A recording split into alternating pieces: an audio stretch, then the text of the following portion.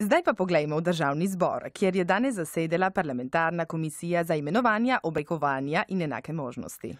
Stranka SDS je zahtevala, da se končno razišče, kdo je pred parlamentom nastavil kakac, ki ga je v petek leta 2013 pohodil prvak opozicije Janez Janša in na svojem podplatu nevede prinesel v hram demokracije. Poglejmo nekaj utrinkov z vroče razprave.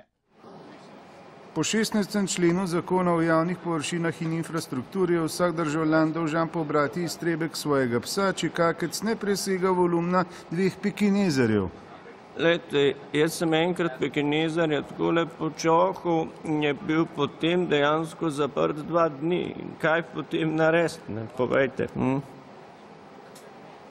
No, dejstvo je, da to je ostanek uh, znanega morgelskega prca.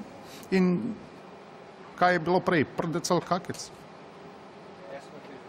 In to sprašujem.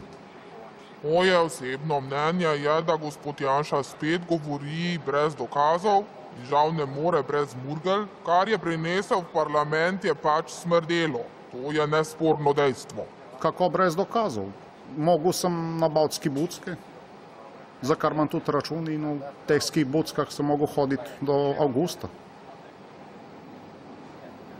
No, lejte, govoriti o vročem poletju avgusta je relativno. Če greste v Avstralijo, v tem mesecu prevladujejo zimske razmere.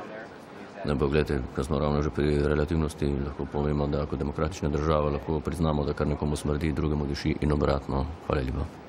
Ja, jaz sem veliko bolj priden, kot naš ovčar reksi, ki reče predsednik Janša, sedi, grem sedi, ki mi reče, dej tačko, dej, dam tačko, ki reče poleg, grem poleg. Ti, daj se pa ta navado govoriti, si je šele pol leta nazaj shodil, a ni Pa resno? ne, da nošenje, ja. Mm, zanimivo.